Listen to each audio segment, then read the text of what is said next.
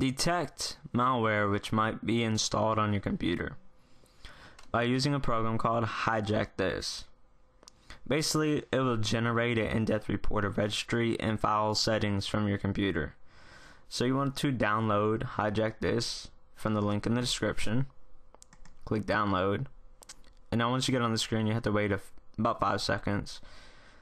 And then your download will come up and you want to save the file.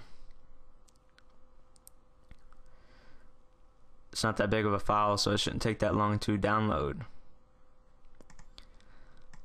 Alright, so once you have downloaded it, you want to right click. This is this is important right here. You want to right click on HijackThis on the icon.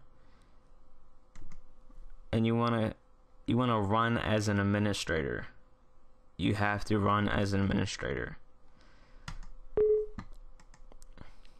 So once it is opened up, there's other tools which is on here.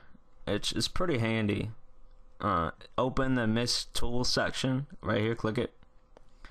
So you can open up the uninstall manager, which will allow you to uninstall anything which could be installed on your computer. But there's also something else on here that's useful. Delete a file on reboot. Open process manager. Open host file manager. You want to click on open host files host file manager. And you want to make sure that your host's files has not been messed with by any malware. If it has been messed with, if you see that there's stuff on here that shouldn't be, you want to run Microsoft Fix It, which will put the host file back to default host file. So once you have done viewing your host file, you want to hit main menu. And now you want to do a system scan and save a log file. So click that.